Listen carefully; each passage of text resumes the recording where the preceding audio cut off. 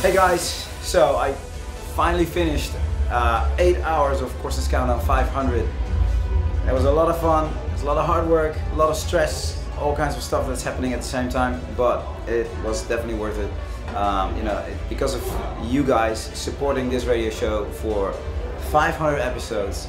Uh, thank you so much. Also, thank you for tuning in today, uh, listening, uh, watching the streams or whatever. So let's go for another 500 more.